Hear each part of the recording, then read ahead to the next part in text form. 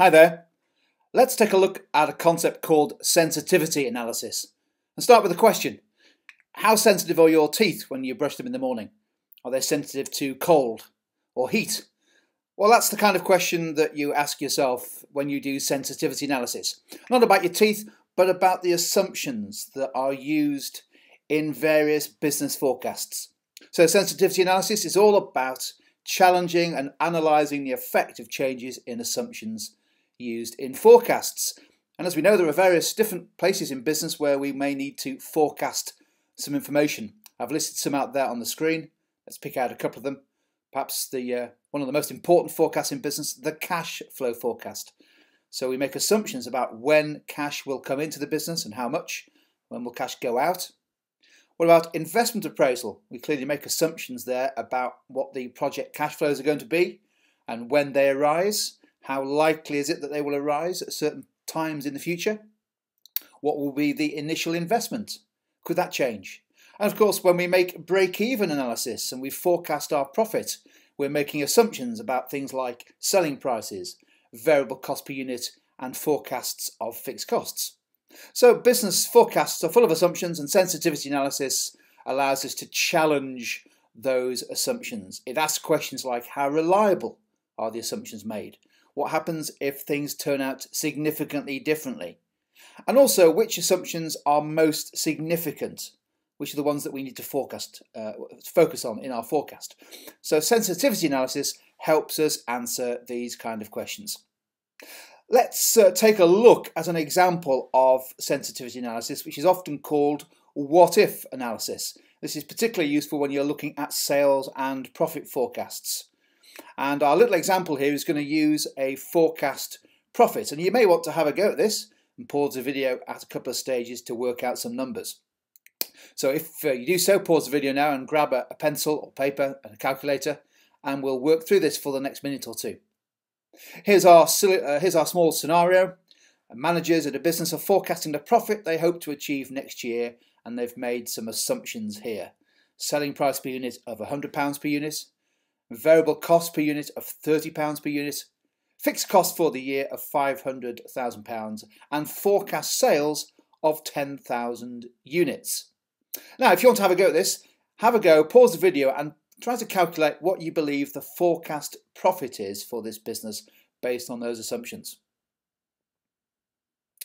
Let's uh, take a look. If you had a go at doing that, that's cool. If not, let's look at what the forecast profit is. And the answer is £200,000 because if you apply those assumptions, uh, 10,000 units at £100 per unit must mean revenue of a million pounds.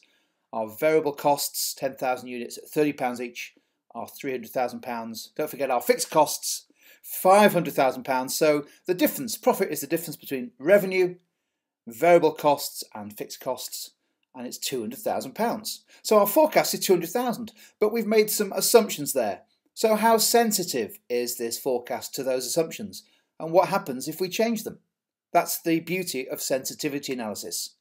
So what we'll do is we'll just spend a minute having a look to see what happens if our assumptions were worse by 10% for each of the four assumptions. So rather than the selling price per unit being £100, it's £90. Rather than the variable cost per unit being £30, it's actually 10% worse, £33 per unit. And similarly for fixed costs, they are higher than expected and forecast sales 10% lower than expected. Now again, if you want to have a go, have a go at calculating the forecast profit by making each of those changes. Not all together, what's the impact of making one change at a time? For example, just changing the selling price from £100 to 90 So again, if you want to have a go, pause the video and then we'll go through what those impacts are.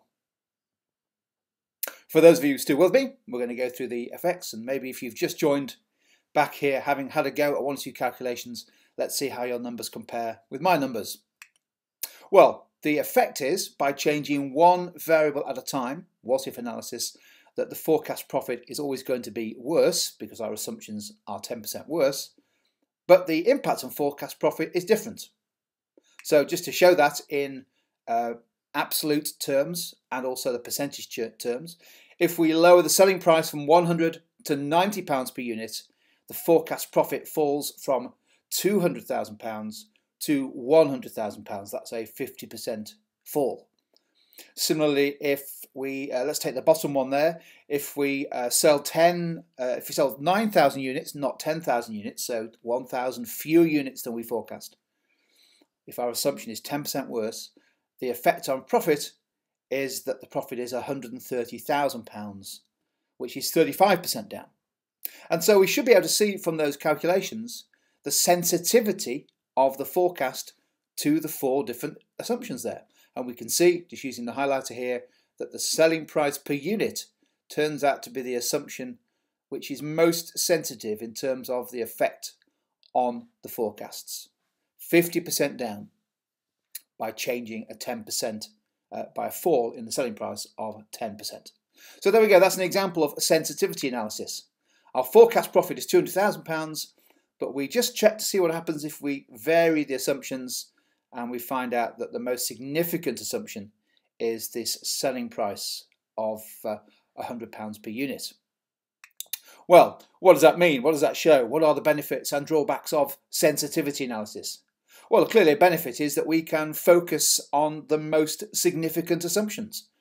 So on that previous example there, how confident are we that we'll achieve a selling price per unit of £100? Could it be that we have to achieve or offer a much lower selling price to achieve the forecast sales units, particularly if demand is price sensitive. And of course, it helps us challenge our forecast, challenge our assumptions, which is always good in business. The worst thing in business is to have overly optimistic forecasts, and then you're constantly having to explain and work out why things aren't as good as they, you thought they were going to be.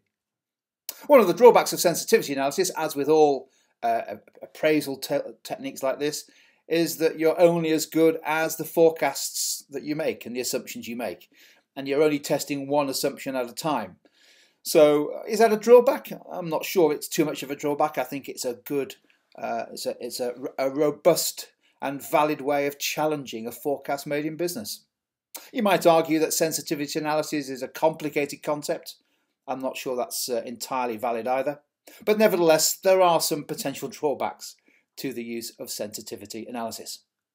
So there we go. That's what, six minutes, seven minutes an introduction to and hopefully a useful example of sensitivity analysis.